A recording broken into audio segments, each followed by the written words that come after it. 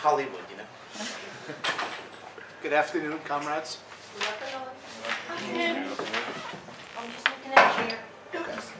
Uh, We're doing this session only in English. Is that okay? Yeah? Okay. So it gives me great pleasure to uh, introduce Dan Gallin, um, a man who I hope needs no introduction at a global solidarity conference. Uh, Dan is here today to launch our new LabourStart book, a collection of his essays. When we were thinking about what to call the book, I reread it and tried to find a common theme, uh, a word that repeats itself throughout the book and throughout Dan's extraordinary life. And the word that came to mind, the title that came to mind was this one, Fifty Shades of Grey. okay, at least, at least Dan laughed at the joke. No, solidarity, solidarity is the, is the word. So that's what we called the book, Solidarity. We've launched it at a global solidarity conference in which the theme is global crisis, global solidarity. So in the world of marketing, you'd call that branding.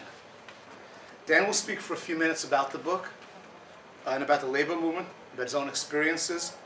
He'll be followed by uh, Lisa Merliak from the Independent Miners Union in Belarus. And after that, and they're both very short speeches, uh, and after that, uh, we'll open the floor to your questions and comments and discussion. And when the session is over, Dan will sign copies of the book, which you can purchase for nine euros from us, or- or 10 if you really like us. So, Dan. Okay, uh, thank you, Eric.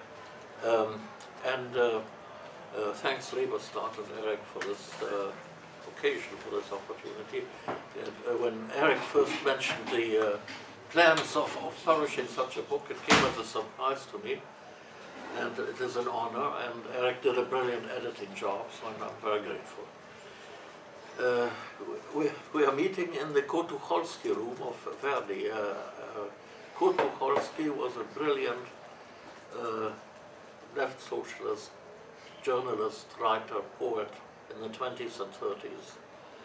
And uh, he's in one of his uh, prose poems, he has a, a sentence of what is it that social democrats are proud of? And the answer is to have prevented worse from happening. So anyway, that's, that was Tucholsky. Uh, back to the book. The, the, the, the book spans several decades, uh, most of my life. Uh, I uh, started to be politically active in the early 50s as a student in the United States, uh, where I discovered socialism in the form of a uh, dissident Trotskyist tendency in the, in the midst of the McCarthy period. And uh, we, we called ourselves independent socialists. Uh, the Stalinists and Social, Social Democrats called us Trotskyites. The Trotskyists called us centrists. And the government thought we were some sort of communists and had us uh, on the subversive list. I attracted the attention of the authorities, and in 1953 I was given one month to leave the country. So I returned to Switzerland from where I'd come, and uh, eventually I, I, joined the Swiss Socialist Party. Uh, I'm still there. I had no interest in a political career, uh, even in the socialist movement, and I wanted to be where the workers were in the trade union movement. So when I heard that the then General Secretary of the IUF uh, was looking for an assistant, uh, I jumped at it and I started working at the IUF in August 1960. My job uh, was everything. I was chief cook at Bottle Washer. Uh, I had no idea or expectation of ever being, uh, becoming general secretary of an organization. Uh, but I eventually did. Uh, that surprised many, including myself. Uh, and it's a complicated story that I will not bore you with now. Uh, it's in the book, anyway. Um, so, in 1968, the IUF executive uh, appointed me as acting general secretary under the supervision of a president uh, who was supposed to control me to make sure that I did not shift the organization in too radical direction. Uh, two years later, the member unions thought they could take the risk, and uh, I was properly elected at the, at the Congress. I retired as IUF General Secretary in April 1997, and together with others, I founded the Global Labor Institute. Now, I had spent 37 years of my life in the IUF, of which uh, 29 years as General Secretary. And uh, that is a long time, and I want to uh, tell you now why I did it and, and what I was trying to do. The first issue is, what is the point of the international trade union movement? When I started in the IUF, uh, it was mostly a contact point and an information exchange uh, of member unions and of members of their governing bodies like most international trade union federations at that time. Uh, my predecessor, Juul Poulsen, uh, a solid Danish social democrat, uh, thought we could do more. Uh, he, he, did not share the complacency to, uh, of the post-war social compromise, and of course I welcomed those, uh, that train of thought. My hero was Edo Fimmen, Edo Fimmen was the General Secretary of the International Transport Workers Federation from 1919 to 1942. He advocated an international trade union movement based on the industrial federations. He saw the darkness coming, and uh, as a revolutionary socialist, he thought that a movement uh, that had its act together and was organized for class war could stop capitalism in its tracks, uh, including its fascist shock troops. For a time he tried to achieve unity between the socialist and communist trade union movements, but after the Spanish Civil War, he gave up. He understood that no compromise was possible with Stalinism. Uh, so in the 1960s, we had to ask ourselves, uh, was the class struggle over? Hardly. Uh, do we have social partners? Uh, not really. Uh, what we had was social counterparts. That's what we have today. It's not the same thing. Did we have real enemies? Yes, of course. Uh, all over the world. Our members were facing brutal employers with governance at their service. So, re in a reality, we were in a class. We were in a war in, in which many had thought they had left behind. And the task was, uh, therefore, to organize for war, to turn a letterbox organization into a combat organization, uh, to make it fit to take major battles and, uh, and win. So that's what I started doing when I became General Secretary. It was a long process, but every battle won, and uh, even those we lost, made it easier to win the next one. And that's how we beat Nestle and Coca-Cola and some others. Uh, you, you heard some of that this morning. And even became partners with some decent employers. We were credible and could do that because we had become strong. I've now been out of the IUF for 17 years, and my successor, Ron Oswald, picked up where I left off.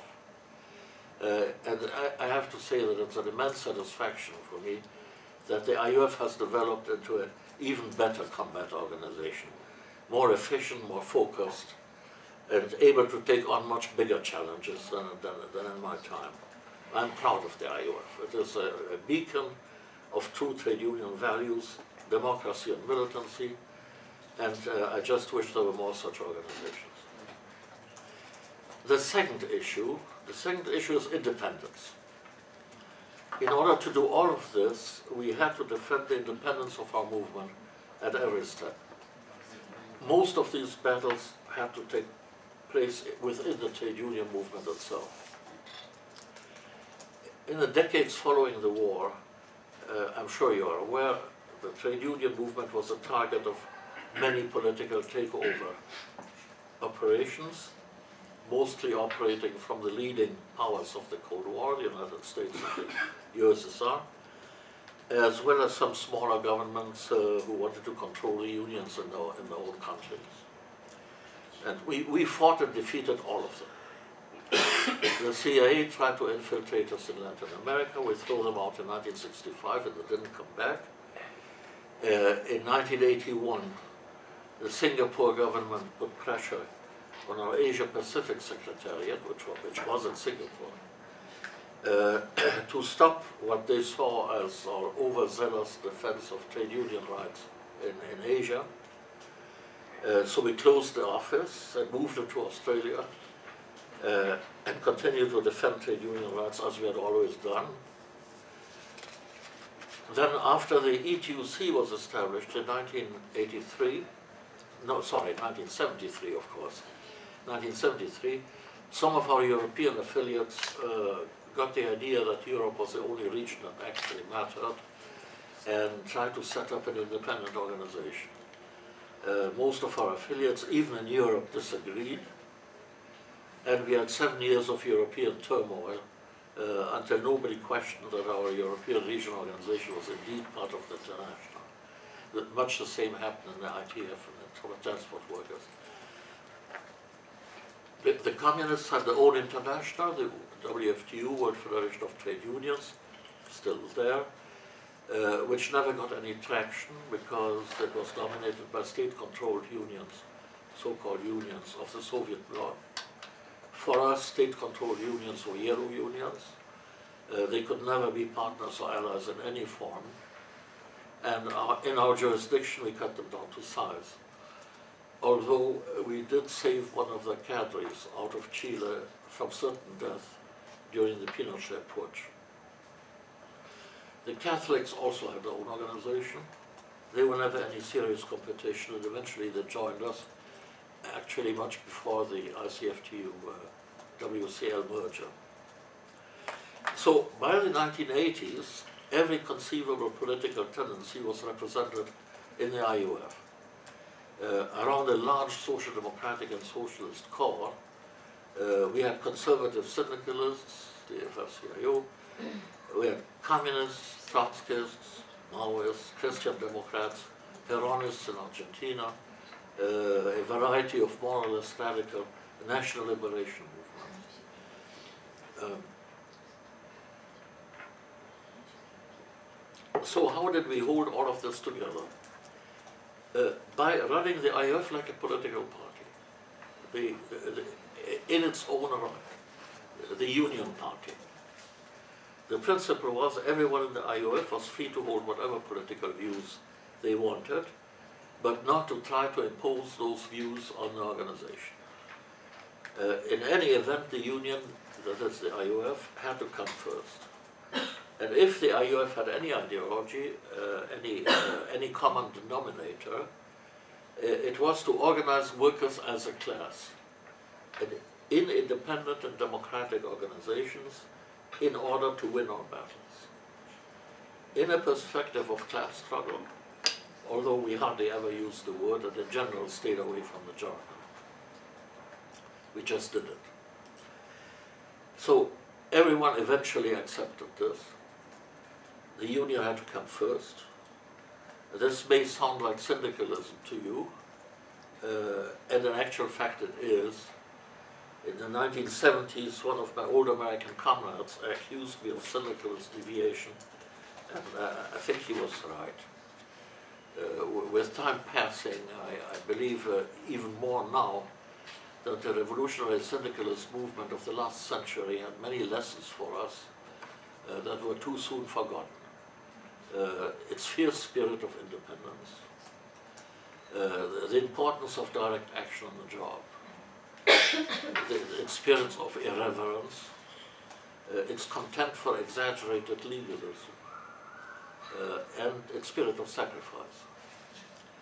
So when I look at what has happened today, like for example the, the international campaign against the fast food, fast food chains, uh, the militant struggles to try to create a trade union movement worthy of its name in China, uh, in Eastern Europe, in the Ukraine, Belarus, Russia itself. I see that uh, this spirit is alive and it warms my heart. A third major issue is democracy. democracy is not some sort of promised land, a, st a state of being. It is a method, uh, and it is a process. Uh, it, this process is never ending. Democracy is always a work in progress. You could say the same thing about socialism, actually, uh, and even about revolution, but I digress. For an international organization like the IUF, uh, any, any international trade union federation, democracy is a serious problem because we are several steps removed uh, from the workplaces where our members are. Uh, our structures are those of representative democracy.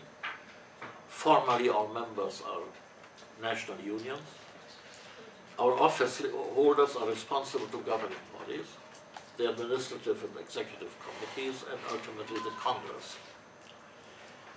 Now, all too easily, such structures can become strongholds of bureaucracy, uh, the enemy within the labor movement, and the resting place of self-important and complacent leaderships, always finding reasons why something cannot be done, opposing everything they have not thought of first, and believing that nothing must ever happen for the first time and especially that they have some sort of right to be there forever. Now, the only way to escape this is to accept risks. Uh, what you have to do as a leader is to never confuse the authority that you exercise by virtue of your position, and in the best of cases because of the quality of your work, with a source of authoritarianism. Uh, your office makes you nothing more than a foot soldier in a great cause, and it gives you no rights except that of treating your members with the utmost respect. Your responsibility is to educate your governing bodies, in all modesty, to the seriousness of the issues, and to exercise themselves the authority to which they have been elected, even at your own expense. By the 1970s, the IUF was beginning to have governing bodies with uh, growing self-confidence, with adequate information, and with a deep understanding of the responsibility and of the issues. They were beginning to give me a hard time. This was not always pleasant, but I was able to tell myself that I had been successful. The IUF had a democratic leadership. Another aspect of the democracy issue often overlooked is the gender issue. The trade union movement has been traditionally male-dominated, and it still is. Accepting this is to accept that we will never represent more than half of the world's working class. And worse, it also means that we will never challenge the patriarchal structure of our society, which is the ultimate source of its authoritarian structure at work and everywhere else. The IUF membership always had an important component of women workers in food canning and tobacco processing and in the catering services. But its governing bodies for a long time were nearly always exclusively composed of men. Yet it was these governing bodies which in 1983 unanimously decided to accept the Self-Employed Women's Association of India, SEWA, into affiliation against the opposition of other Indian unions uh, who claimed that SEWA uh, was not a real union but an NGO, and argued that it should not be accepted because it was discriminating against men. Today, SEWA has one and a half million members. It is the largest women workers organization in the world. And more importantly, it became the driving force behind the International Women's Network, Women in Informal Employment Globalizing and Organizing, WIEGO with the objective of organizing women workers into, uh, in an informal economy everywhere, into unions. And at this point I want to say something about the Global Labour Institute, the GLI. When I retired from the IUF in 1997, I, together with others, founded the GLI as a platform to fight for union renewal in a socialist perspective. Basically, it enabled me to continue doing what I had been doing for 40 years, together with my comrades of many years, uh, Dave Spooner in particular, some, some of you might know, who created another GLI in Manchester. One of our first activities was work with WIEGO, the organization I just mentioned, to inf organize informal women workers, and our focus quickly became domestic workers. A workforce of several million, nearly invisible, hardly ever perceived to be women, uh, workers by trade union movement or by anybody else. The IUF affiliated to WIEGO and together uh, with the GLI assisted domestic workers union over four years to create an international federation. And it's meeting right next door, in the room next door. So in November last year, the International Federation of Domestic Workers held its founding congress in, in Montevideo. That was an extraordinary experience. Hundreds of women, domestic workers, emerging from virtual serfdom, embracing their dignity as workers, enthusiastically learning at the Congress itself how to organize internationally, how to write and adopt a constitution, creating the first international trade union federation in history entirely run by women. The federation is now affiliated to the IUF as an autonomous group, and it, it has become unstoppable. It is the biggest labor success story of, of last year. But the GLI is more than that. We are now an international network. Besides the GLI in Geneva and in Montevideo, uh, in, in, Manchester, of course, there is a GLI in, in, in New York uh, at Cornell University, uh, which is doing pioneering work on uh, how un trade unions should approach environmental issues. Uh, there is Center Praxis in Moscow, uh, which is organizing conferences to bring together the independent left and the democratic trade union movement in the successor countries of the USSR, and uh, as well as editing socialist literature, which was unavailable to Russian readers uh, during the entire period of Stalinism. Together, we are trying to revive the principles of the labor movement, so people remember the original purpose of the exercise, to revive the knowledge and understanding of history, because history is about identity, and therefore not about the past, but about the future. And on behalf of the network, the GLI Manchester is running an annual international summer school in July, which some of you may know about and have attended. The theme is always the politics of the international trade union movement, what they are and what they should be.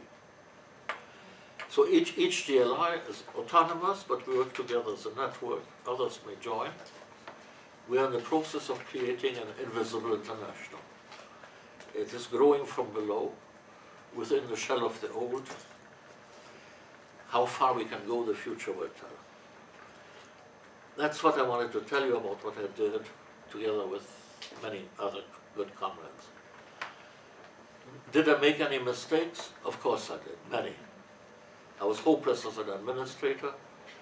I made misjudgments about people, uh, being too generous to some and not enough to others. Sometimes I was betrayed and found myself disarmed.